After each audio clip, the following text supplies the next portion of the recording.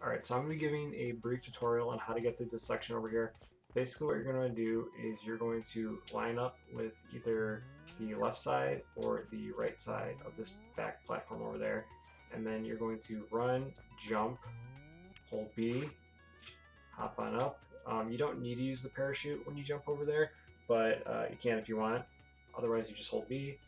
Uh, once you're in one of these corners here and the platform has risen, you're going to hold up so that way you begin uh, running in that direction. You'll, when you first start, it'll be a walk and then a run. Once you get into that sprint, you'll hold right and then hit Z and then A.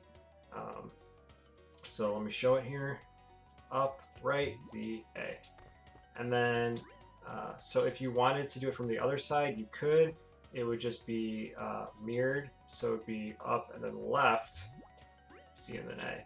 So you can kind of do whichever way um, you find easier. Um, just play around with it, uh, see your own personal preference. But coming this way saves about four seconds from going the other way. So this is just a very brief uh, tutorial on how to do this. If you want to see more and you know a little more in-depth explanation, on this whole section over here. I'm going to put a longer video on my channel that you can check out. But if you just wanted to see, you know, the quick tutorial on how to do this, that's what this video is for. If you have any questions, just let me know.